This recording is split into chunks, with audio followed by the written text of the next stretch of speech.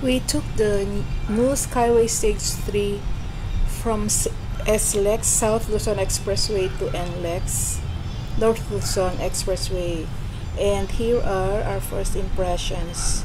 Its official Skyway Stage 3 is open and operational and uh, it took us only 30 minutes from Buendia up to the North Luzon Expressway it's it's very nice from the Duterte administration to finish this project.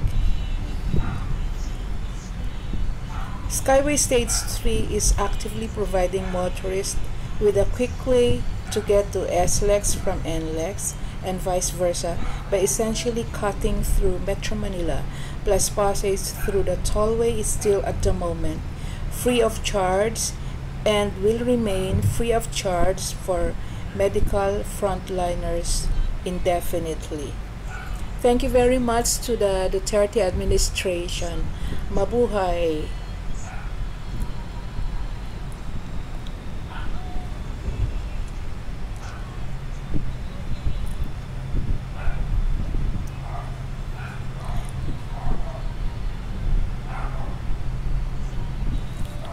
By the time we entered Skyway through it was smooth sailing, which is to say, believe the hype.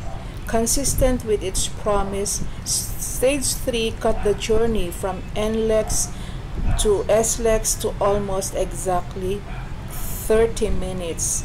There were quite a few vehicles with us today, but never enough to, for traffic. All is well today. It was a very satisfying drive.